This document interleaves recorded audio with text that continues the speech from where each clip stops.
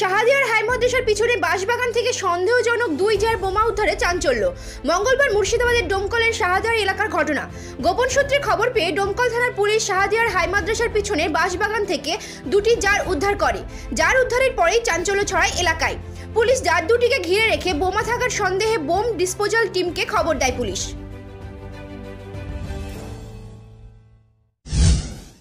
এই মাদ্রাসার পাশে একটা চায়ের দোকান।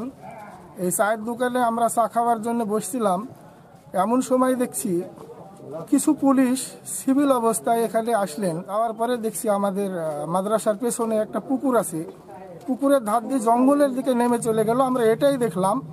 তারপরে কিছু ছেলে দূরের থেকে দেখল নাকি দুটো জার্কিং দেখতে পেয়েছে।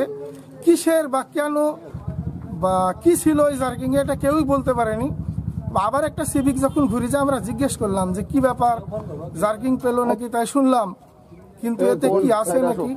তো আমাদেরকে ওই সিভিক বলল যে এতে বোম আছে এই কথা বলল এটাই আমরা জানি। আর কিছুই আমরা জানিনি। এটা আমরা দেখিও নি বা জানিও নি। আমরা যেটুকু দেখেছি এইটুকু বললাম। না এর আগে আমাদের এ এলাকায় কোনো বোমা টোমা উদ্ধার হয়নি। এই প্রথম আমরা অবাক হয়ে যাচ্ছি দেখি যে এ কোন বিষয়? ব্যাপারটা কি? পুলিশ যেন সরাসরি যেই পেয়ে গেল অথচ আমরা বুঝতে পারলাম না। কি মনে হচ্ছে এটা কি পরিকল্পনা করে এটা করা হয়েছে?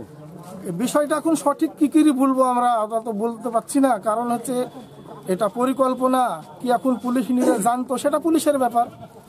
এলাকায় কি অশান্তি করার জন্য এগুলো করা হচ্ছে মনে হচ্ছে?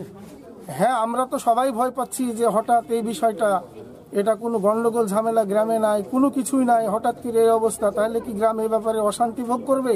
এটা আমাদের চিন্তা হচ্ছেই তো। নাম